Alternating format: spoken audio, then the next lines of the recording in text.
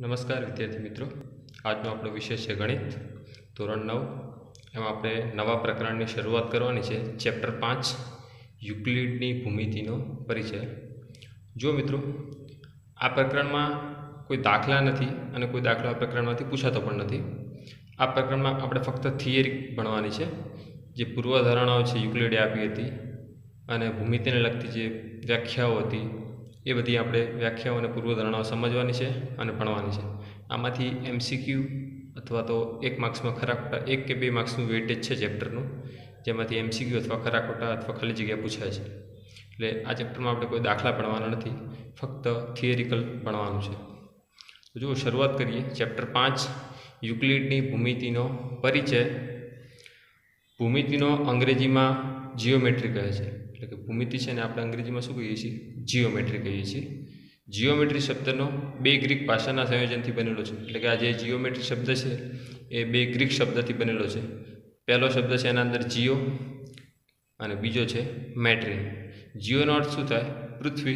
અને મેટ્રિનનો અર્થ શું થાય છે? માપ થાય છે. એટલે કે પૃથ્વીનું માપ. જીઓમેટ્રીનું આખું માપ મતલબ શું થાય છે? કે પૃથ્વીનું માપ. ગ્રીક ગણિતશાસ્ત્રી થેલ્સને ભૂમિતિના પ્રણેતા ગણવામાં આવે છે. જે ગ્રીક દેશ હતો, એના ગણિતશાસ્ત્રી છે થેલ્સ, જેને ભૂમિતિના શું ગણવામાં આવે છે? પ્રણેતા એટલે કે એના તજજ્ઞ ગણવામાં આવે છે.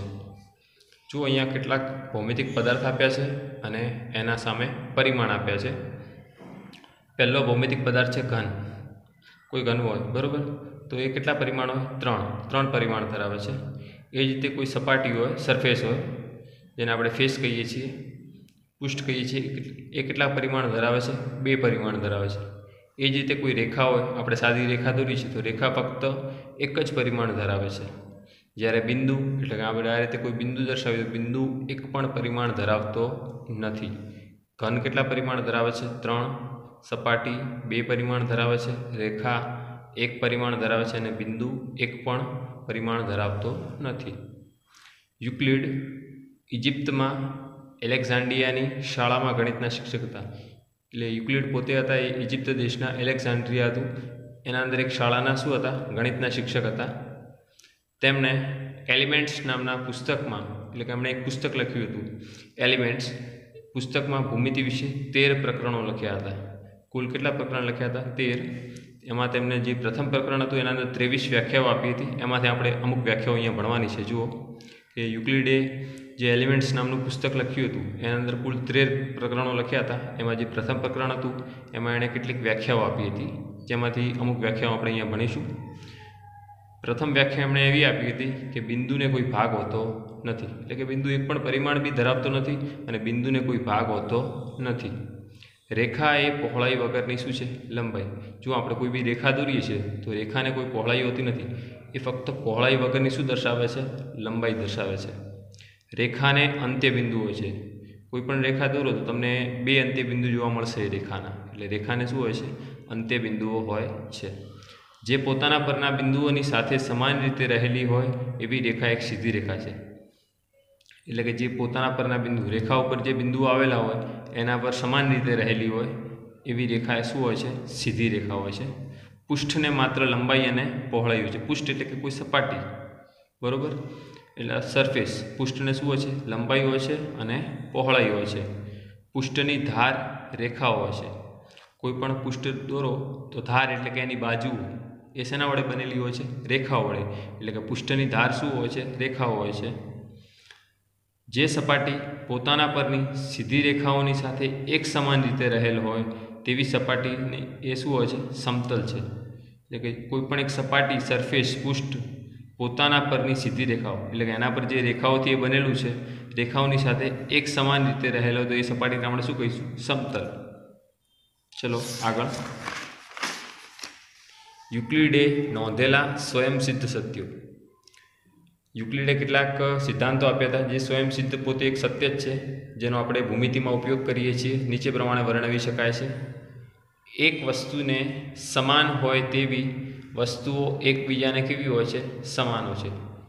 એટલે કે કોઈ, આપણે કોઈ પણ, ધારો કે બાજુ લઈ, બે સમીકરણની બાજુ લઈએ, તો ડાબી બાજુ અને જમણી બાજુ કેવી હોય છે? સમાન હોય છે. એ કોઈ એક વસ્તુને સમાન હોય, તેવી વસ્તુ એકબીજાને કેવી હોય છે? સમાન હોય છે. સરખામાં સરખું ઉમેરીએ તો સરવાળો કેવો રહે? સરખો રહે. હવે ધારો કે કોઈ બાજ આ બરાબર છે, એની બંને બાજુ સમીકરણ આપેલું હોય અને આપણી બંને બાજુ સમાન પદ ઉમેરીએ, તો એનો સરવાળો કેવો મળશે? આપણને હંમેશા સમાન જ મળશે. સરખામાંથી સરખા બાદ કરીએ તો બાદ બાકી કેવી રહે છે? સરખી રહે છે. એટલે તમે બંને બાજુ સમાન પદ બાદ કરો, તો એની બાદ બાકી પણ કેવી રહેશે? સમાન રહેશે. એકબીજા પર બંધ બેસતી આવતી વસ્તુઓ એકબીજાને કેવી હોય છે? સરખી હોય છે. બંધ બેસતી એનો મતલબ કે એને સંપાતી હોય. કોઈ રેખા હોય, એના ઉપર જ બીજી રેખા દૂર હોય એને બંધ બેસે એવી તો એને સંપાતી રેખા કહેવાય. એકબીજા પર બંધ બેસતી આવતી વસ્તુ એકબીજાને કેવી હોય છે? સરખી હોય છે. આખું તેના ભાગ કરતાં કેવું હોય છે? મોટું હોય છે. કોઈ પણ વસ્તુ એના ભાગ કરતાં હંમેશા કેવી હોય છે? મોટી હોય છે. સરખી વસ્તુઓના બમણા એકબીજાને કેવા થાય? સમાન હોય. ધારો કે બે વસ્તુ સમાન છે. તમે એના બમણા કરો. બરાબર? તો એ પણ એકબીજાને કેવા મળશે? સમાન જ મળશે.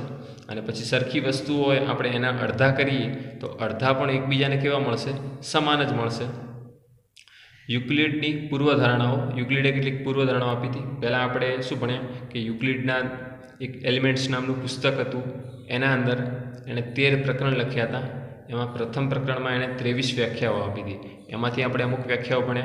અને હવે પહેલાં યુક્લિડે નોંધેલા સ્વયંસિદ્ધ સિદ્ધાંતો કે જે એક સ્વયં સત્ય છે, એવા સાત સિદ્ધાંતો આપ્યા હતા, એ ભણ્યા. હવે આપણે ભણવાની છે યુક્લિડની પૂર્વધારણાઓ. યુક્લિડે ભૂમિતિને લગતી કેટલીક પૂર્વધારણાઓ આપી હતી, જે નીચે મુજબ છે.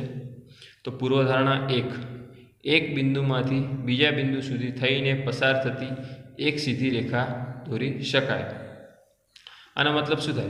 કે કોઈ બે બિંદુઓ હોય, તો એમાંથી તમે એક એક બિંદુ હોય, એમાંથી જો બીજા બિંદુ સુધી આપણે કોઈ એક રેખા દોરવી હોય, તો એક જ રેખા દોરી શકાય. એક એટલે કે અનન્ય રેખા આપણે દોરી શકીએ. પૂર્વધારણા પાંચ પોઈન્ટ એક શું છે? આપેલા બે ભિન્ન બિંદુઓમાંથી પસાર થતી અનન્ય રેખા હોય છે. એટલે કે કોઈ બે બિંદુ ભિન્ન બિંદુઓ આવેલા હોય, બરાબર? એમાંથી પસાર થતી અનન્ય, એટલે કે આ બે બિંદુમાંથી ફક્ત એક અને માત્ર એક જ રેખા પસાર થશે. આપણે આ બંને બિંદુમાંથી બીજી રેખા દોરી શકીએ નહીં.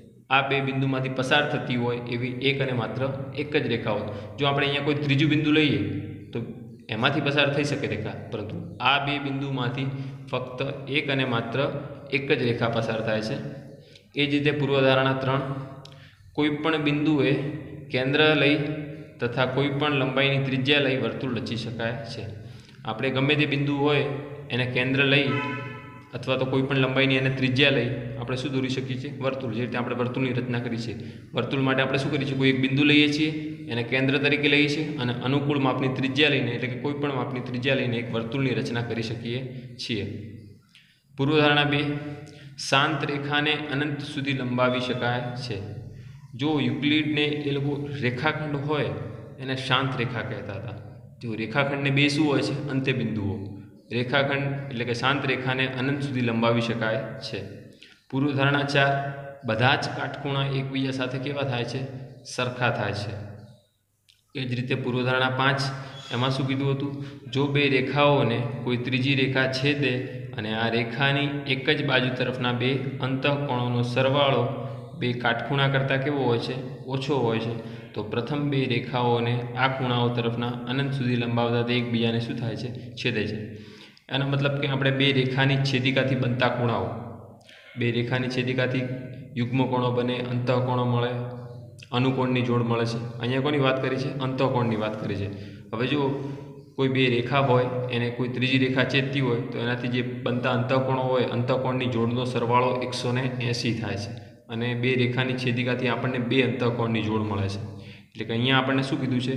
જો બે રેખાઓને કોઈ ત્રીજી રેખા છેદે અને આ રેખાની એક જ બાજુના, એટલે કે ધારો કે આ બે રેખા છે, એને કોઈ રેખા ત્રીજી છેદે, તો એની એક જ તરફના શું હોય? આ બે અંતઃકોણ આ અંતઃકોણની જોડ કહેવાય. એક જ તરફના અંતઃકોણોનો સરવાળો બે કાટખૂણા, એટલે કે બે કાટખૂણા કરતાં કેવો મળે છે આપણને? ઓછો મળે છે. તો પ્રથમ બે રેખાઓને આ ખૂણાઓ તરફ અનંત સુધી લંબાવીએ, તો એકબીજાને શું કરે છે? છેદે છે. તો જુઓ મિત્રો, આજના વિડીયોમાં આપણે યુક્લિડની સ્વયંસી સિદ્ધાંતો ભણ્યા, યુક્લિડે જે પૂર્વધારણાઓ આપી હતી એ ભણ્યા, પછી યુક્લિડે પોતાના જે એલિમેન્ટ્સમાં વ્યાખ્યાઓ આપી હતી એ ભણ્યા.